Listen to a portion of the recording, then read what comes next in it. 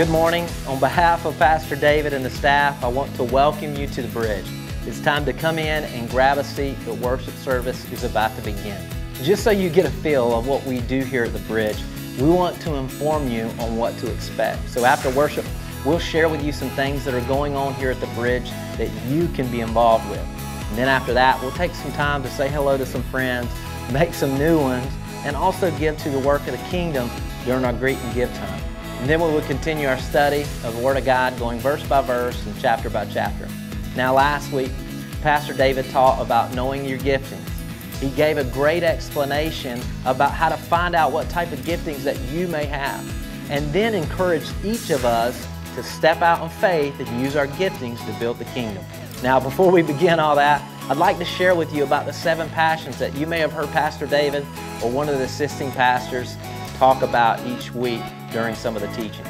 The seven passions are reading and studying, praying, giving, serving, worship, evangelism, and discipleship. And lastly, fellowship and family.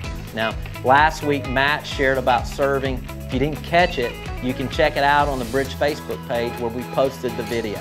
This week, we want to cover reading and studying. Sounds easy, right?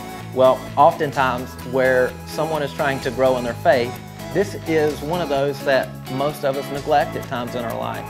And the Bible promises in Psalms 1 where it says that if we meditate on the Word night and day, we'll be like a tree planted by the rivers of water. And in our season in life, we'll bear fruit. And so here at the bridge in this body, we want to see people raised up in God's Word. So let's check out how people in this community of faith are taking and talking about reading and studying God's Word. Okay, uh, reading and, and studying the Bible is the key to peaceful living in my life. For me, it just helps me get focused, and uh, I just try to do that.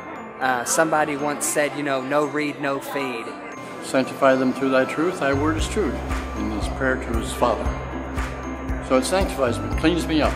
We not only feed our fleshly selves, we need to feed our spiritual selves, and there's no other better way than to pray and read the Word.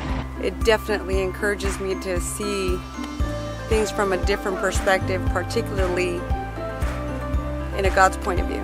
It, it just makes it a lot easier to be encouraged and encourage other people. It kind of carries with you throughout your day. You know, you something happens and it automatically brings you back to that verse that you read earlier.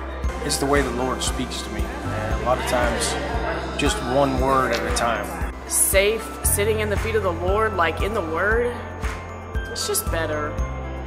Life just goes a lot smoother.